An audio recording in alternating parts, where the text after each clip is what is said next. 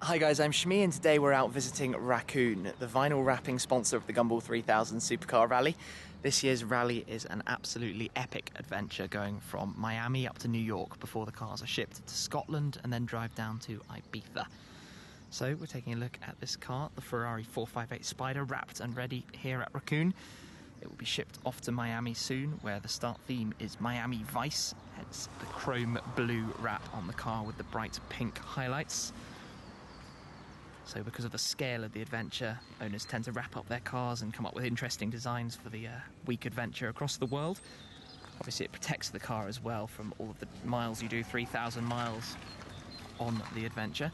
So, around the back, you can see this car's got this pink flag design over the rear deck and roof. But when they get home, the cars are all unwrapped. Back to normal Rosso Corsa in this case. So 458 Spider, probably a pretty good car for Gumball. This car's just about ready to be sent out to Miami for the start of the rally on the flag drop on the 5th of June. I will be taking part in this year's rally, so I'll be all the way uploading videos of the adventure, showing you everything that's happening straight away.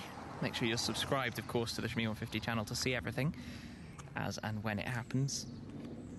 It's going to be a very good rally.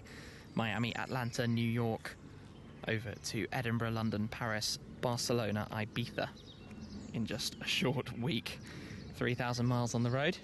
So make sure you subscribe though, because you're not going to want to miss that content. But make sure you also check out Raccoon to see all the other wraps coming on this year's rally. There are going to be some pretty cool designs, believe me.